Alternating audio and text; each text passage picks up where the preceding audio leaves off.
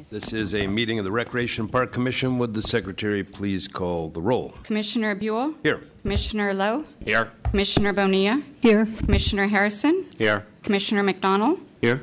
Uh, Commissioner Levitan is on her way, and Commissioner Way does have an excused absence. This is the February 19th, 2015 meeting of the Recreation and Park Commission. Uh, As a recap, my understanding is that is still the intention of the RPD and this commission to introduce an additional 1,000 tons of the chemicals in tire crumb into another San Francisco children's play area. I believe these figures are correct. You have been duly informed on many occasions and are aware that a toxicologist from the Center for Disease Control predicted that within 10 years that people exposed to these chemicals would start to develop cancers. This was in 2007 and that in fact since 2014 this commission and the RPD management have known of an unusual and growing number of users of these fields developing cancers.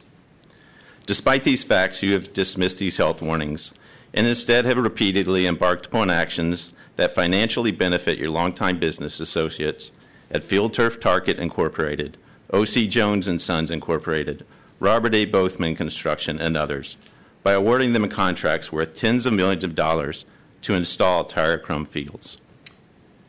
It is to be expected that while your associates profit handsomely, it's in fact the parents whose children that use these fields are the people living next to them who will risk paying a profound price from the resulting chemical and chemical combinations that will inevitably circulate in their children's bloodstream as they breathe the chemicals into their lungs or swallow, ingest, and have the chemicals enter open cuts in their skins or by other means. At last month's meeting on January 15th, 2015, Dawn Kamalanathan and the RPD management earnestly promised this commission that they will once again explore alternatives to tire crumb.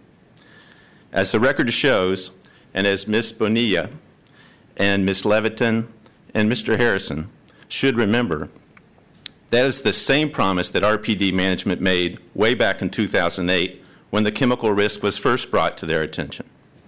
The record also shows that the RPD again kicked the can down the road in 2011 and again in 2012 with the same promise. Short sightedness or denial of these past promises and symbolic gestures risk passing on a sad and financially significant burden for the next generation to have to deal with, perhaps after you all plan to have left your positions.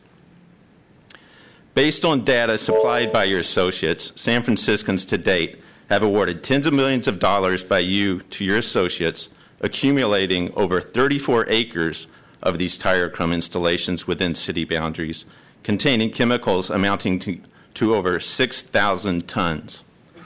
As we have for years, I and others will do what we can to help you keep track of the list of cancer victims as it keeps growing with your tacit approval. Thank you. Thank you.